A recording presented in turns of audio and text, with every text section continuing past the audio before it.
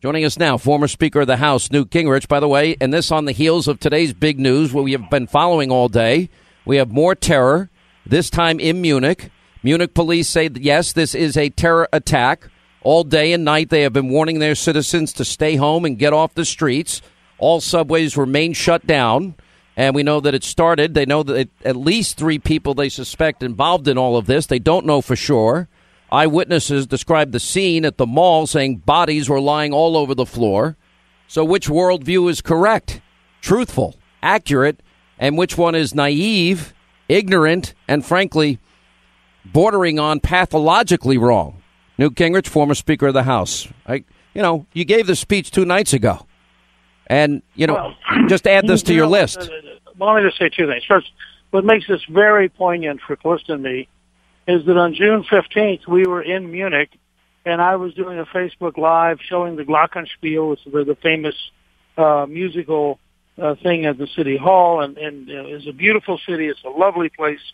Um, and here you have this horrifying event going on right now. So for us personally, only a few weeks ago, we were right there. Uh, and we really, really empathize with the people who are there and what's happening to them. But second, you know, I went in this morning, I was talking to various elite news media people who said, oh, Donald Donald Trump's view was was too dark, uh, and, and this is apparently the, the, the mainstream media's uh, version of reality today was that the speech last night was too dark. Well, my my challenge to the elite media is really simple. You want to look at Munich and tell us about dark? I mean, what you have here is a very simple test. Uh, what we have is Donald Trump is a realist describing realistically what is going on in which there are terrible events being carried out by, by terrorists, you know, you, you can understand the president's situation. He's surrounded by the Secret Service. He's, he has Air Force One. He has Marine One. He has huge, car, you know, caravans of cars. Of course he feels safe. Uh, Hillary Clinton, I think, has had Secret Service protection for 24 years. Of course she feels safe. How about the rest of us? And, and some of these elite reporters who were just all over this, I mean, the New York Times coverage, all these different things this morning. They had found their theme. You know, Donald Trump was too pessimistic, too dark. Well, uh, uh, tell me about it after you watch Munich. It seems to me Munich is absolutely validation that Donald Trump is in touch with reality, and his media critics, as well as his opponent, are living a fantasy land. Well, their spin on it. I mean, they the convention, from my perspective, having been to many of them, really couldn't have gone any better. But of course, there has to be a, a, negative narrative that begins somewhere.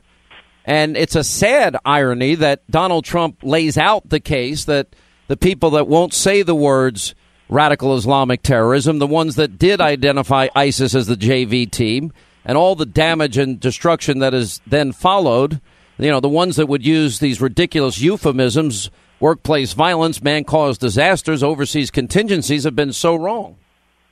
Right, and I think when we watch the Democrats next week, we'll see them be wrong again and again and again. And here's what people have to ask themselves. I mean, I'm, I'm frankly as angry at the elite media as I am at Hillary Clinton. I mean, Hillary Clinton at least has the legitimacy of being a hardline left-winger who is being surrounded by left-wing allies, and she represents them. But to have people who pretend that they're reporters spend this morning, I, I had one interview I did, it was just ridiculous. And, and they had this whole theme, as you say, that the, the, the narrative, I guess that's the term nowadays, and their narrative is nuts. And of course, tragically, and let me be very clear with this, it is tragic that this is happening in Munich today. But it is also a pretty powerful signal that Donald Trump is right about how dangerous the world is, and the news media and the Democrats are just plain living in a fantasy land.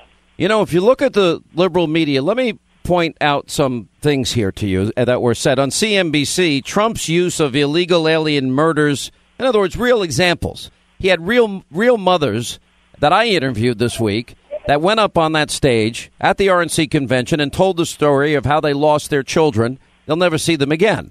And CNBC refers to that as the use of illegal alien murders reminiscent of the Willie Horton ad. You have Rachel Maddow comparing Trump's speech. It could be a gateway drug for the KKK becoming mainstream to America. Bill Maher saying Republicans are, quote, retarded Nazis. Election is a referendum on decency. Van Jones terrified by Trump's, you know, psychopathic speech about Mad Max America. And I, I can keep going on for hours here.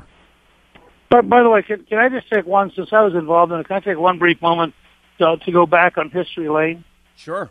Willie Horton was a vicious murderer who was released by Michael Dukakis in a weekend program for patrolling, paroling murderers who kidnapped a couple in Maryland, raped her, and then stabbed both of them some 50 times and left them in an oil uh, uh, bin. Uh, Willie Horton was not a fantasy. He was a reality. For that couple, he was a nightmare. He ended their lives. He deprived their families of their of their lives, and he deprived them of their future. And the left has been desperate ever since to say, "Oh, it's really unfair and inappropriate to talk about it." Well, you tell that to the victims. The same thing right here. You tell the victims and their families who've been killed by people who came here, and they say, "Well, it's statistically not meaningful." Well, it's a hundred percent meaningful to the person who gets killed and to the family who lose their loved ones. And there's something almost sick about the elite media using these phony statistics to say things that aren't true. You know, there aren't many uh, of the uh, refugees who are in Munich who are killing people this afternoon. There, there was only one refugee who was cutting people up on the train earlier this week. I mean, after all, statistically, that's not a big risk. There is zero reason for the United States to put its citizens at risk by accepting people we don't know who come from regions that are violent and who may well decide that they hate us. You know, I just think that, you know, almost now every day, and you've been on the program a lot recently, and thank you. You were actually off today, and, and I called you. I said, I want you to respond because this really fit the narrative of the speech. I think this is the most preparation you ever put into a speech, knowing you all of these years. But it fit the narrative. Here we go again, but it seems like every other day it's either cops being targeted for assassination, you have people lying in wait, they're being ambushed, or it's a terror attack either here in America or elsewhere around the world, and it's done by the JV team that Hillary and I, I, you can argue from my perspective, Hillary and Obama created by pulling out of Iraq early, not standing strong on Syria, and having a, a, a sort of a, an unwillingness, which is mysterious to me, to identify the enemy of our time, which is evil radical Islamists. Well, let me say first of all, I want to thank you uh, for agreeing to put a link to my speech uh, on your website because I do think, I mean, this is a speech I put a long time into. This is a topic I've been working on since the 1970s. I think that it, it is now so vividly, powerfully clear, uh, and I, I hope that all of our listeners will take a little bit of time to look at this I also want to suggest to them uh, the Daniel Silva's new novel, Black Widow, which starts with France and shows you the problems in France and then takes you through ISIS. It is the most vivid explanation of what we are living through. And I think people, when they read it, are going to realize, you know, this is a real war. And we had better have a wartime president who wants to defeat the enemy, not some deluded person living in a fantasy. Yeah.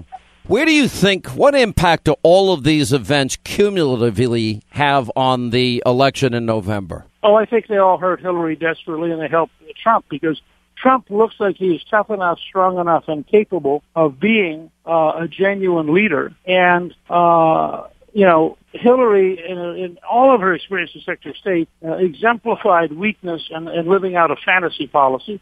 Uh, she was she was a disaster. What what uh, Trump said last night was absolutely true. Uh, whether it's the Russian reset, which was a fiasco, or it was the Libyan decisions, which were a disaster, or it was the support for radicals in Egypt, which almost became a catastrophe. I mean, every time she turned around, she was doing something that weakened America. Uh, and of course, she started the negotiations with Iran, which are probably the worst single negotiations in yeah. American well, history. And we, and we learned this week, $150 billion. $150 billion. And we learned this week it takes half the time that it would have taken for them to get a, a nuclear weapon. But uh, I've got to run. I know uh, you have to run as well. Uh, Mr. Right. Speaker, as always, thanks for being with us all week. We Thank really you. appreciate it. And you're not coming to Philly with us, which I, by the way, fully. No, I'll, be on the radio show and a little bit of television I commenting on the Democrats. But I ain't, I ain't I, going to Philly. Uh, I Talk actually later. Yeah, I'll go on behalf of all of us. Thanks for the mission. I appreciate it.